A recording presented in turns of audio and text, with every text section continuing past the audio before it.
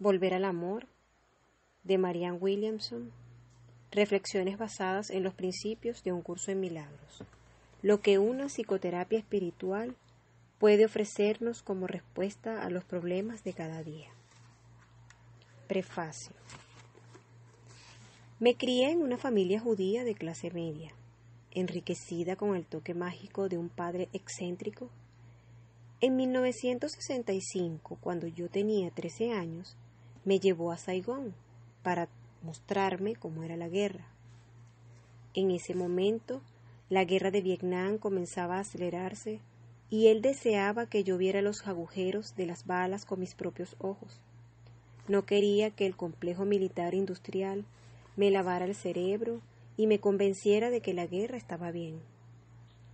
Mi abuelo era muy religioso y a veces yo iba con él a la sinagoga los sábados por la mañana. Cuando se abría el arca durante el servicio, él se inclinaba, reverente, y empezaba a llorar. Yo también lloraba, pero no sabía si lo hacía por un incipiente fervor religioso o simplemente porque mi abuelo lloraba. Cuando empecé la enseñanza secundaria, tuve mi primera clase de filosofía y decidí que Dios era una muleta que no necesitaba. ¿Qué clase de Dios me preguntaba? ¿Podía dejar morir de hambre a los niños o que la gente enfermara de cáncer o que sucediera el holocausto?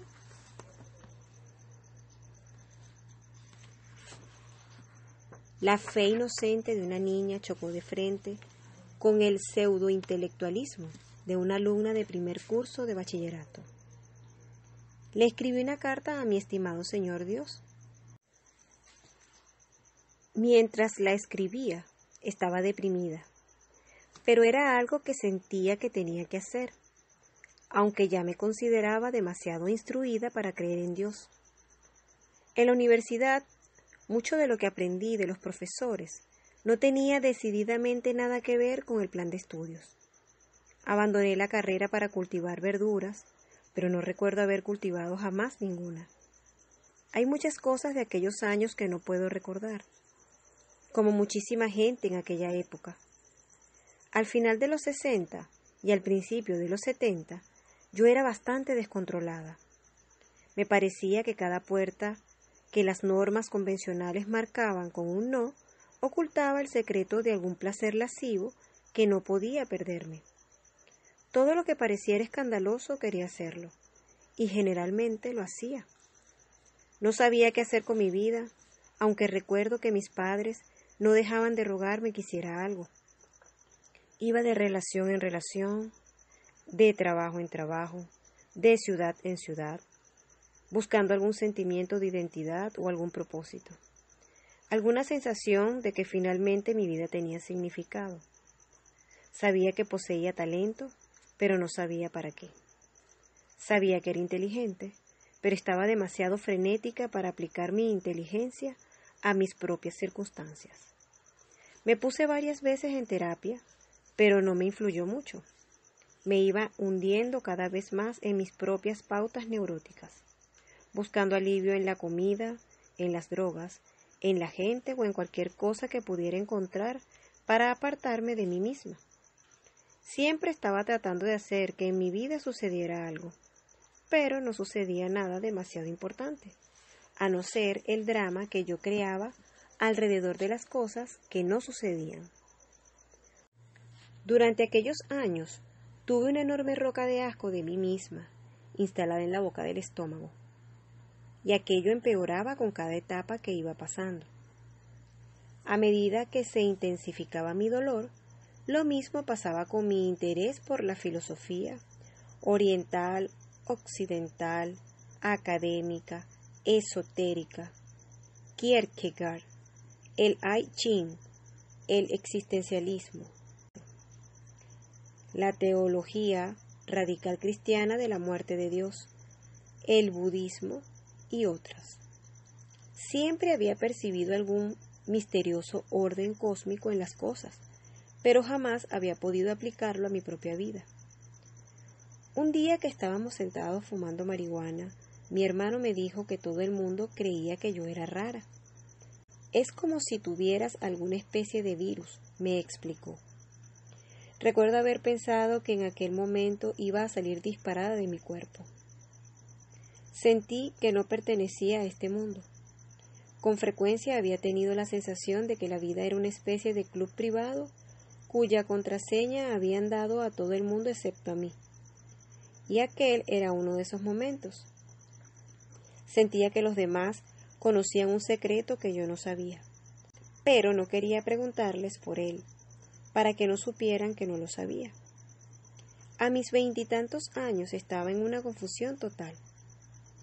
Creía que los demás también se morían por dentro, igual que yo pero que no podían o no querían hablar de ello.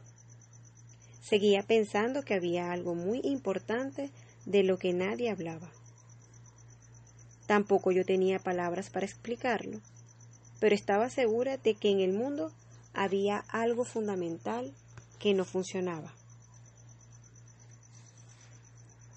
¿Cómo era posible que todos pensaran que en ese juego estúpido de triunfar en la vida, que a mí en realidad me avergonzaba y al que no sabía jugar pudiera consistir todo el sentido del hecho de estar aquí.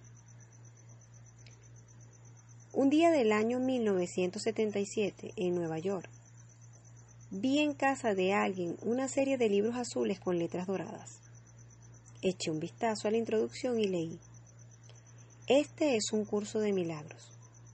Es un curso obligatorio Solo el momento en que decides tomarlo es voluntario. Tener libre albedrío no quiere decir que tú mismo puedas establecer el plan de estudios.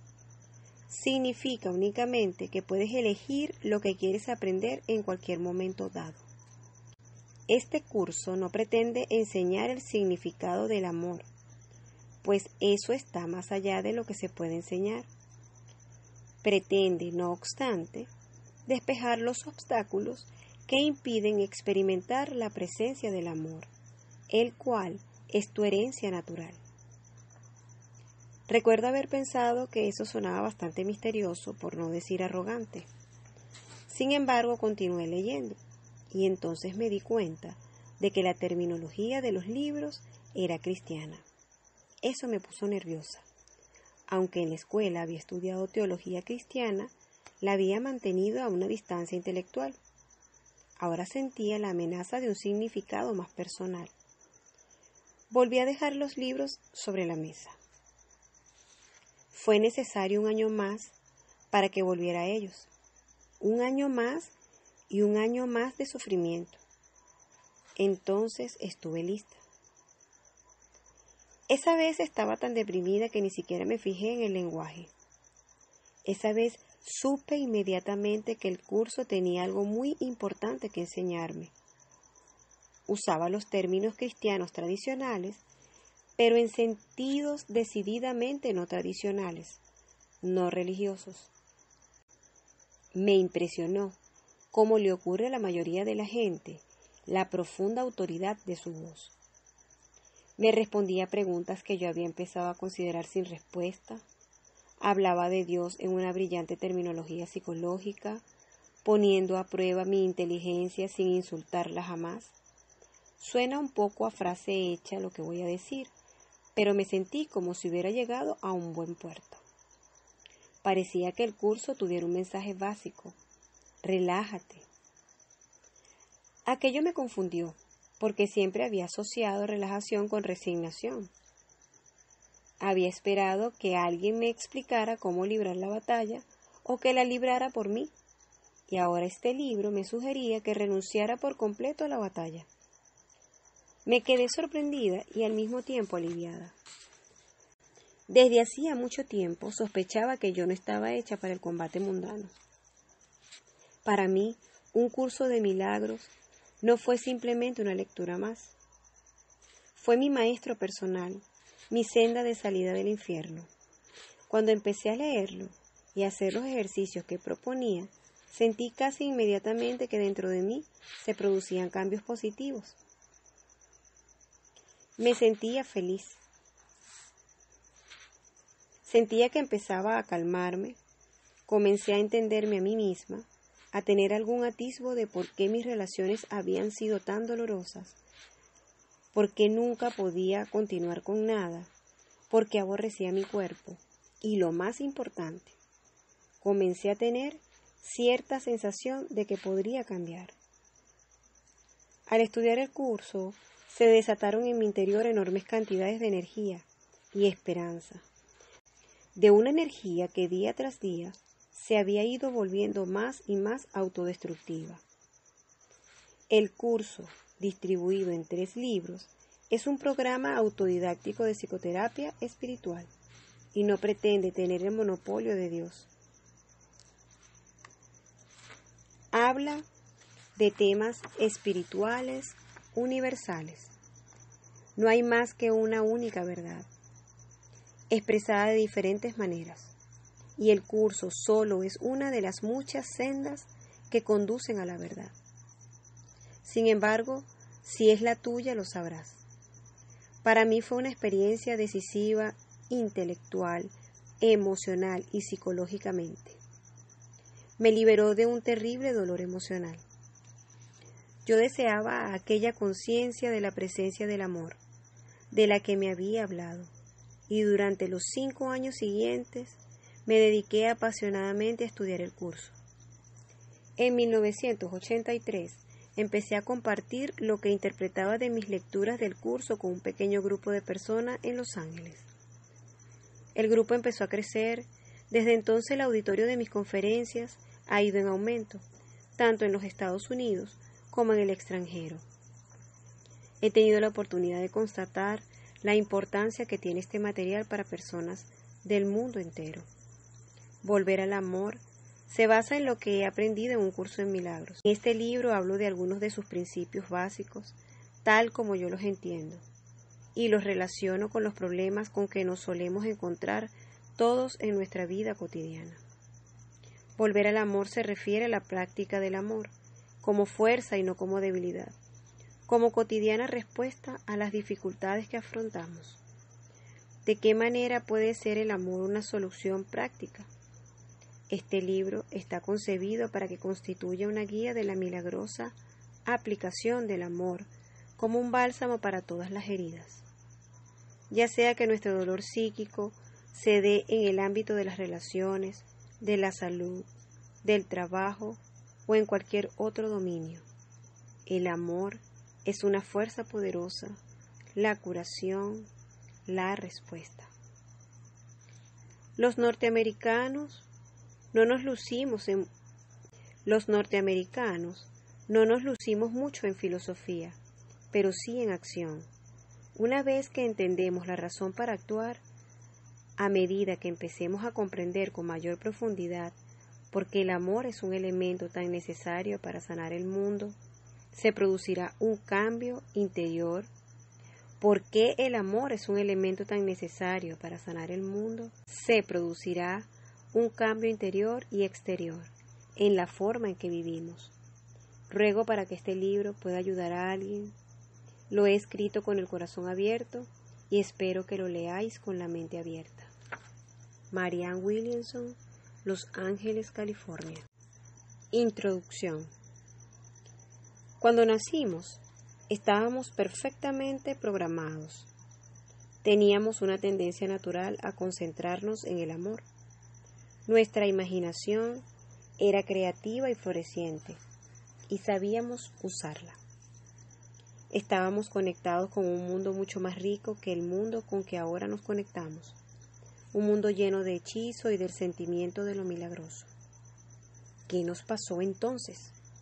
¿Por qué cuando llegamos a cierta edad y miramos a nuestro alrededor el hechizo había desaparecido? ¿Por qué nos enseñaron a concentrarnos en otras cosas? Nos enseñaron a pensar de forma antinatural. Nos enseñaron una pésima filosofía, una manera de mirar el mundo que está en contradicción con lo que somos nos enseñaron a pensar en la competición, la lucha, la enfermedad, los recursos finitos, la limitación, la maldad, la culpa, la muerte, la escasez y la pérdida. y cómo empezamos a pensar en estas cosas. Y como empezamos a pensar en estas cosas, empezamos a conocerlas. Nos enseñaron que sacar buenas notas, ser buenos, tener dinero y hacerlo todo como es debido son cosas más importantes que el amor. Nos enseñaron que estamos separados de los demás, que tenemos que competir para salir adelante, que tal como somos no valemos lo suficiente.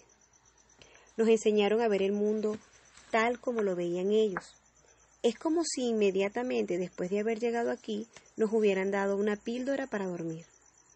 El pensamiento del mundo, que no se basa en el amor, empezó a retumbarnos en los oídos en el mismo momento en que desembarcamos en esta costa.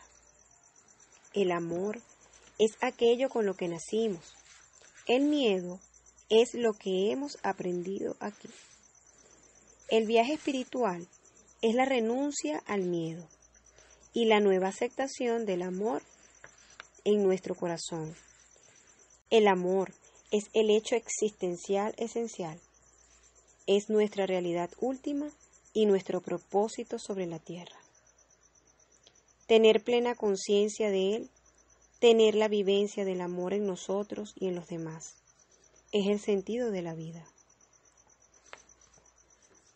El sentido, el significado no está en las cosas, está en nosotros. Cuando asignamos valor a cosas que no son amor, al dinero, al coche, a la casa, al prestigio, damos amor a algo que no nos lo puede devolver. Buscamos significado en lo que no lo tiene. El dinero en sí mismo no significa nada. Las cosas materiales en sí mismas no significan nada. No es que sean malas, es que no son nada. Hemos venido aquí para crear junto con Dios, extendiendo el amor. Una vida que se pasa pendiente de cualquier otro propósito no tiene sentido. Es contraria a nuestra naturaleza y finalmente nos hace sufrir. Es como si hubiéramos estado perdidos en un oscuro universo paralelo donde se ama más a las cosas que a las personas. Sobrevaloramos lo que percibimos con nuestros sentidos físicos y subvaloramos lo que en nuestro corazón sabemos que es verdad. Al amor no se le ve con los ojos, ni se le oye con los oídos. Los sentidos físicos no pueden percibirlo. Se lo percibe mediante otra clase de visión. Los metafísicos la llaman el tercer ojo.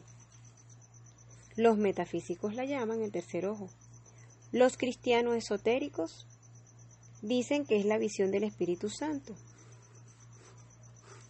Y para otros es el yo superior. Independientemente del nombre que se le dé, el amor exige una visión diferente de aquella a la que estamos acostumbrados, una forma diferente de conocer, de pensar. El amor es el conocimiento intuitivo de nuestro corazón. Es un mundo trascendente que secretamente anhelamos todos. Un antiguo recuerdo de este amor nos persigue continuamente, pidiéndonos por señas que regresemos. El amor no es material, es energía. Es el sentimiento que hay en una habitación, en una situación, en una persona. El dinero no puede comprarlo. El contacto sexual no lo garantiza. No tiene absolutamente nada que ver con el mundo físico. Pero a pesar de ello puede expresarse. La experiencia que de él tenemos es la de la bondad, la entrega, el perdón, la compasión, la paz, el júbilo, la aceptación, la negativa a juzgar, la unión y la intimidad. El miedo es la falta de amor que todos compartimos, nuestros infiernos individuales y colectivos. Es un mundo que sentimos que nos presiona desde adentro y desde afuera, dando constantemente falso testimonio de la insensatez del amor. El miedo se expresa bajo diferentes formas, cólera, malos tratos, enfermedad, dolor, codicia, adicción, egoísmo, obsesión, corrupción, violencia y guerra. El amor está dentro de nosotros. Es indestructible. Solo se le puede ocultar. El mundo que conocíamos de niños sigue aún sepultado en nuestra mente. Una vez leí un libro delicioso, Las nieblas de Avalon. Son una alusión mítica a las leyendas del rey Arturo. Avalon es una isla mágica que permanece oculta tras unas tupidas e impenetrables nieblas. A menos que se desvanezcan, no hay manera de que un barco se abra paso hasta la isla, y solo se desvanecen cuando uno cree que la isla está allí. Avalon simboliza un mundo que está más allá del mundo que percibimos con los sentidos físicos. Representa un sentimiento milagroso de las cosas, el ámbito encantado que conocíamos de niños. Nuestro yo infantil es el nivel más profundo de nuestro ser. Es aquel o aquella que realmente somos y lo que es real no desaparece. La verdad no deja de serlo simplemente porque no estemos mirándola. El amor solo puede quedar oculto tras las nubes o las nieblas mentales. Avalon es el mundo que conocíamos cuando todavía estábamos conectados con nuestra ternura, nuestra inocencia, nuestro espíritu. En realidad, es el mismo mundo que vemos ahora, pero configurado por el amor, interpretado con ternura, fe y esperanza, y con un sentimiento de admiración y de asombro. Es fácil de recuperar, porque la percepción es una opción. Las nieblas se desvanecen cuando creemos que detrás de ellas está Avalon. Y en eso consiste un milagro, en la desaparición de las tinieblas. Y en eso consiste un milagro, en la desaparición de las nieblas, en un cambio de la percepción, en un retorno al amor.